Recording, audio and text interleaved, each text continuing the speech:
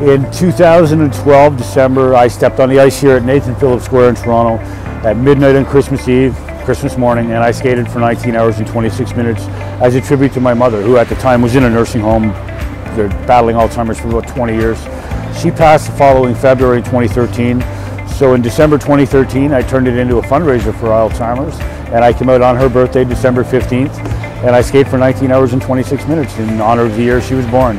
So this will be the eighth year that I step onto the ice here on at Nathan Phillips Square on December 15th at exactly 12.01 a.m. And I'll skate through it tonight all day Sunday and I'll finish Sunday night at 7.26 as a tribute again uh, to the year my mother was born and to raise awareness for Alzheimer's. After I did Toronto, I went, I did Montreal, and uh, again, a lot of these, as I said to the media in these cities, nobody knew who I was the day before I got there, but everybody was talking about me the day after I left. It's a pretty unique thing that I do, and thankfully, after I did the Battle of Alberta back to back, just like in true hockey style, I did Saturday in Calgary and Monday in Edmonton. Tuesday morning, I woke up, I was contacted by the band ACDC and uh, asked how they could help out, and they donated $19,260. I was completely blown away by that.